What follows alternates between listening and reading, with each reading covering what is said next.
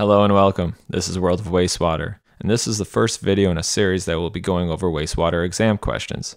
If you find this video helpful, please subscribe and share this video with friends studying for their exam as well. You can find a link to this 100 question exam below in the description.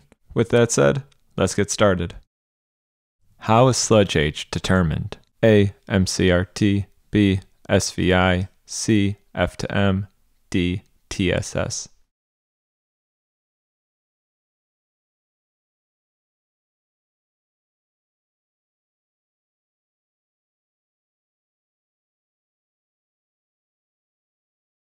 The answer is A, MCRT, which stands for mean cell residence time. This is the amount of time in days that a cell of bacteria or a pound of bacteria, also commonly called solids, remain in the activated sludge system. I want to note that on certain exams you may see SRT, which means sludge retention time. This essentially means the same as MCRT, however, it is calculated differently. What is a sludge blanket? A settled sludge in a primary clarifier, B, solids floating over a weir, C, layer of solids on the bottom of a clarifier, D, something an operator wears.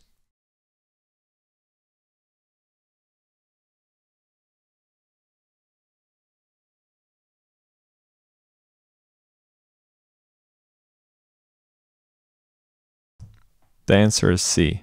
It is the layer of solids on the bottom of the clarifier. This is straightforward. Solids that settle within a clarifier make up the sludge blanket. Generally, a good sludge blanket height is 1 to 2 feet. How much oxygen depletion is needed for a valid BOD test? A. 0.5 B. 1.0 C. 1.5 D. 2.0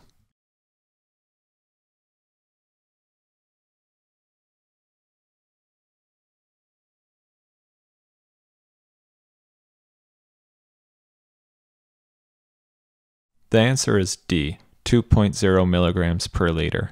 BOD, meaning biochemical oxygen demand, is a common lab test which determines the strength of the wastewater and takes five days to complete. Every time this test is ran, the dissolved oxygen level must deplete by more than 2 milligrams per liter from when it started. It is also important to know that 1 milligram per liter of oxygen has to remain after 5 days for the test to be deemed accurate. This is called the 2 to 1 rule. The highest removal efficiencies in an RBC will occur in A. Cold weather, B. Warm weather, C. Temperature has no effect, D. Rainy weather.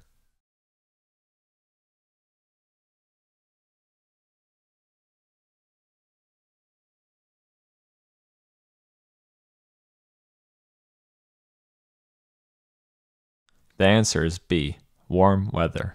The main point of this question is to understand that warmer conditions accelerate bacteria growth. Bacteria activity doubles for every 18 degrees Fahrenheit. However, conditions that are too hot will destroy many types of bacteria. What are the predominant organisms indicative of old sludge? A. Flagellates and amoebas. B. Rotifers and nematodes. C. Stalked ciliates and free swimming ciliates. D. Free swimming ciliates and amoebas.